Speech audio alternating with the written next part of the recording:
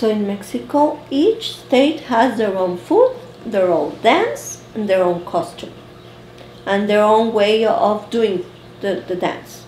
So steps, footsteps that work for Veracruz are not the same that work for the northern part or the southern or the central.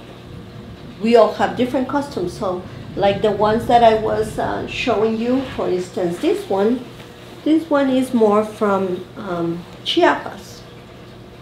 So this is more southeastern region.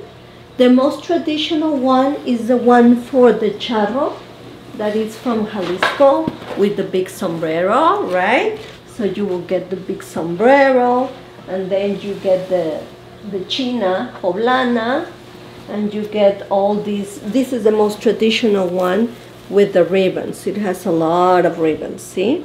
And the skirt is wide, and it also has a bunch of ribbons, okay? And it also comes with el, what is this called?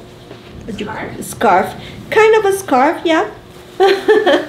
we call it rebozo Uh-huh. for, for the scarf, see? So, and then we wave our skirts to the beat of the trumpets and the guitars.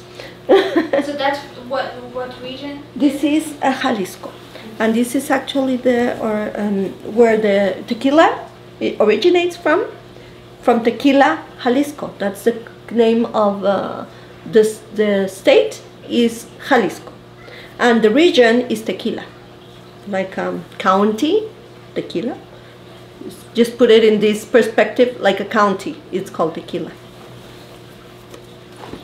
And uh, so that's where that's that that uh, outfit comes from.